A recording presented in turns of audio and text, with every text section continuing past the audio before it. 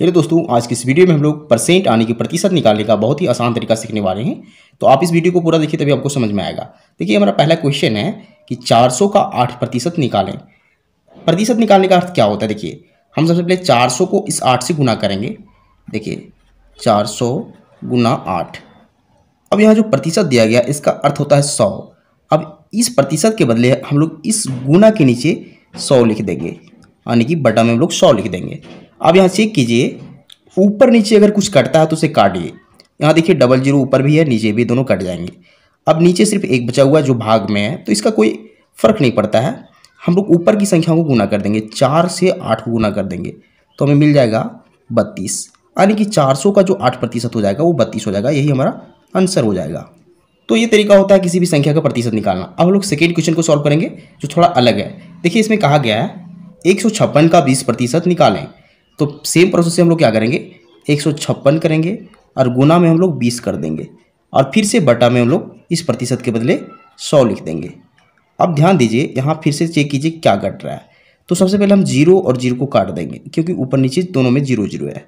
अब आसानी से आप इस दो से इस दस को काट सकते हैं पाँच बार में, लेकिन इसे ना काट के आप क्या कीजिए, इस एक सौ छप्पन इस दो को गुना कीजिए, ताकि आगे आपको कैलकुलेशन करने में फ़ायदा हो, आसानी हो। तो दो से इस एक सौ छप्पन से गुना करेंगे तो क्या हो जाएगा? दो छक बारह, यानी कि दो आ जाएगा। दो पचास दस और एक ग्यारह हो जाएगा। और यहाँ फिर दो एकम दो और तीन हो जाएगा। यानी कि तीन सौ बारह आ रहा है, एक सौ छप्पन गुना दो।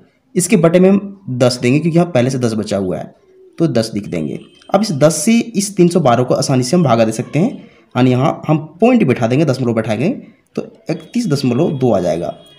देखिए, यही हमारा फाइनल आंसर हो जाएगा।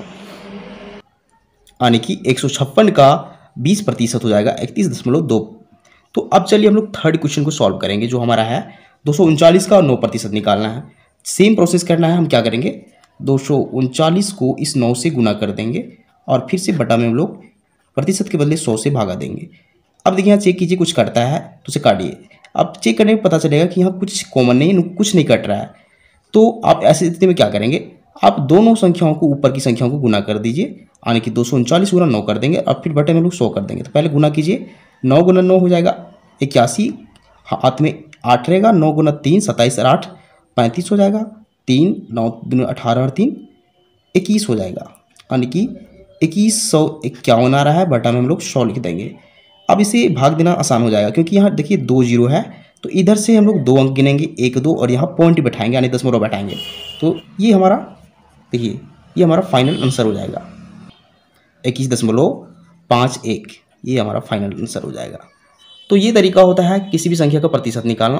तो उम्मीद करते हैं आपको सारा मेथड समझ में आ चुका होगा।